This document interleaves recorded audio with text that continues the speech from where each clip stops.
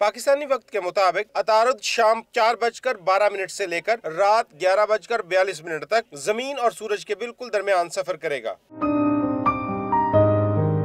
माहरीन के मुताबिक ऐसा अनोखा मंजर सदी में तेरह या चौदह बार ही दिखाई देता है। ज़मीन पर नसब और खला में मौजूद दूरबीनों की मदद से इस मंजर को बरह रास्त नशर भी किया जाएगा।